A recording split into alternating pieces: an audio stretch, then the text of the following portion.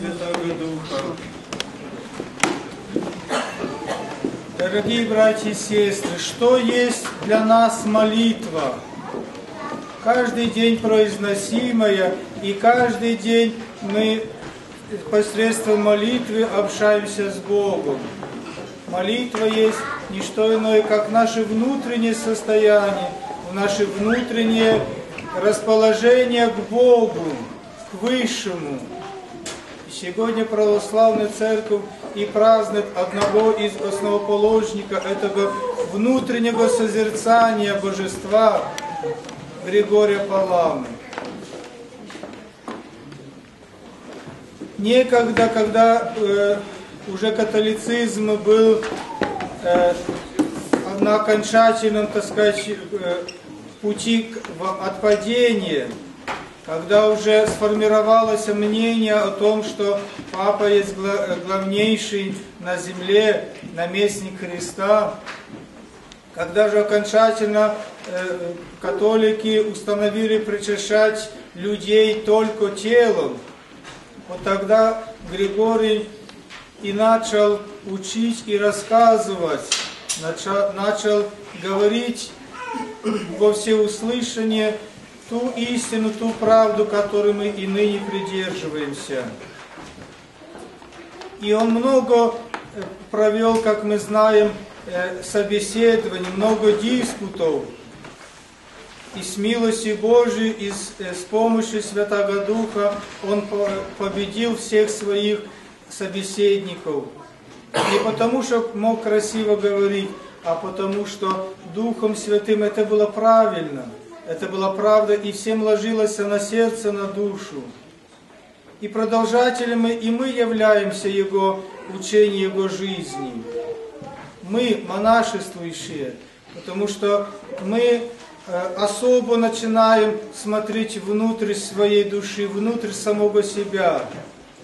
И как учил Григорий, э, святитель Григорий, который и видел фаворский свет, который и видел э, то божество,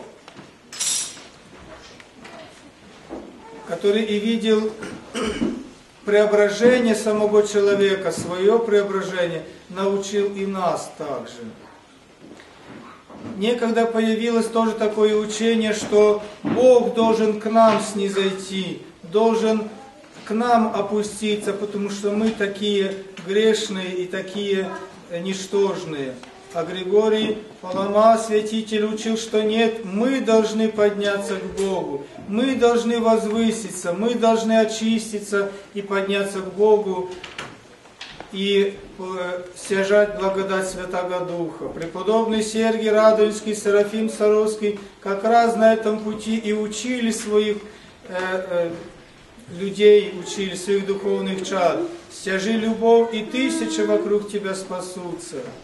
Будем же мы, дорогие братья и сестры, постоянно и все чаще и чаще смотреть внутрь себя, возносить Господу сердечную молитву, внутреннюю молитву, мысленную молитву возносить Господу, чтобы мы, видя свое сердце, свое внутреннее состояние, мало-помалу поднимались к Богу, поднимались к небесам.